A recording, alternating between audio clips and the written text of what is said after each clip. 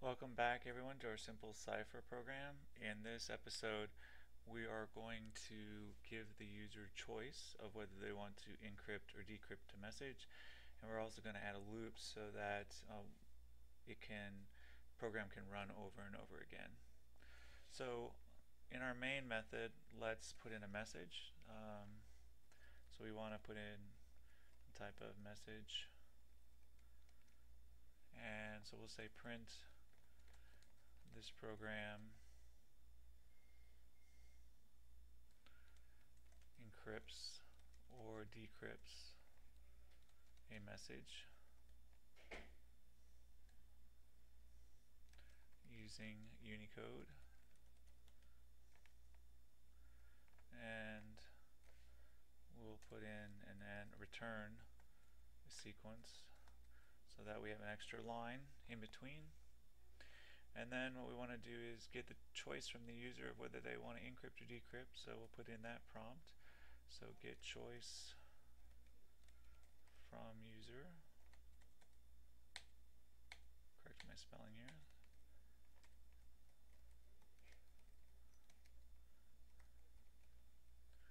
So we'll say choice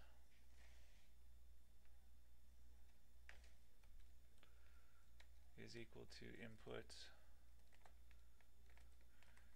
would you like to encrypt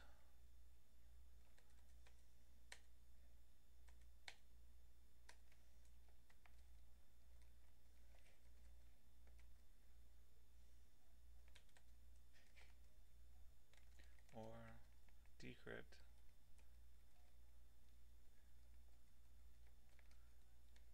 a message.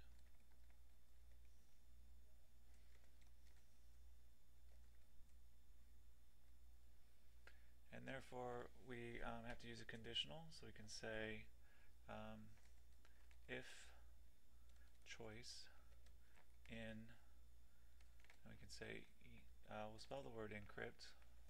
But also give it the choice of having it be capitalized or smaller case. Then what we want to do in that case is we want to call the encryption method or function and then if it's the other way, then we want to call the decrypt message. So if choice or elif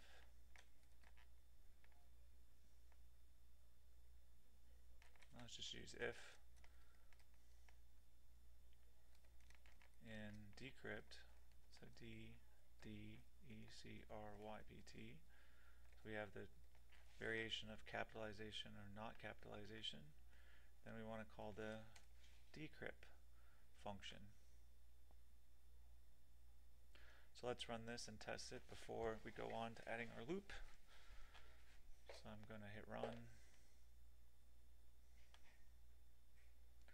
And we'll say we want to encrypt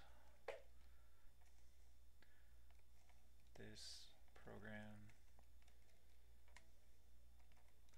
is really fun.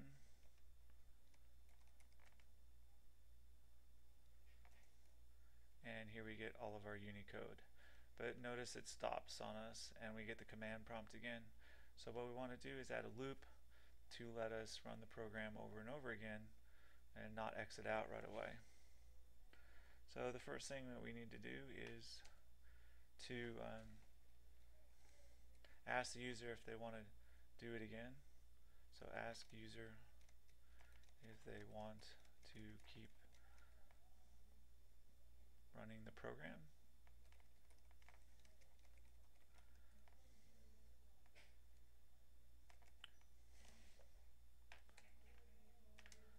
So we need a variable to keep track of this, so we'll maybe call it do again. And we'll set it to yes as the default. And then we say while do again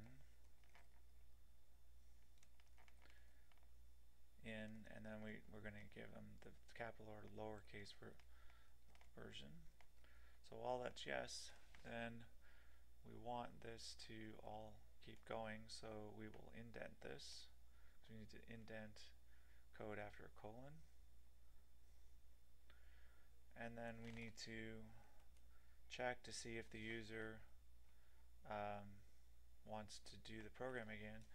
So we'll say do again is equal to input and we say do you want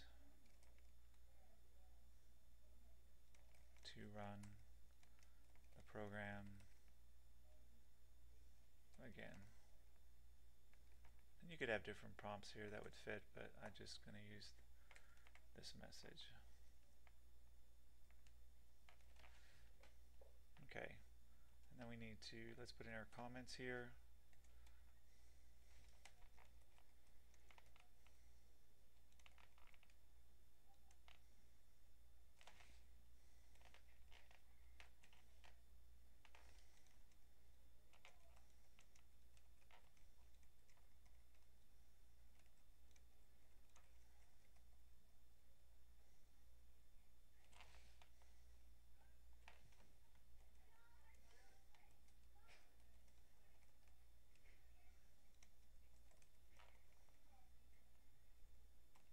Choose encryption or decryption.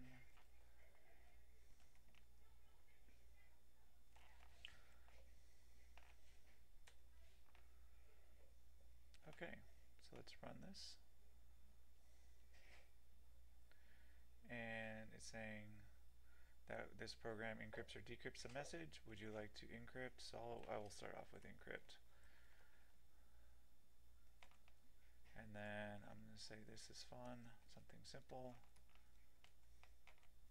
And there I get my Unicode and now it's running the program again.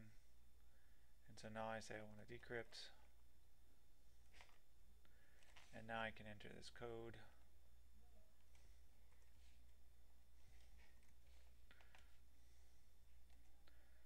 And now it's decoding the message.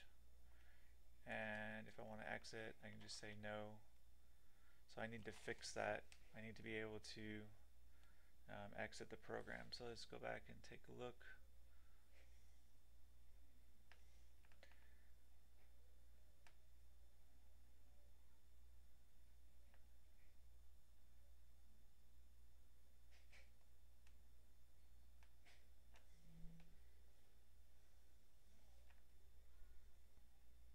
So basically my problem was that I did not, um, this needs to be indented along the same level as the if statements inside the while loop and that should fix your program and I will see you next time.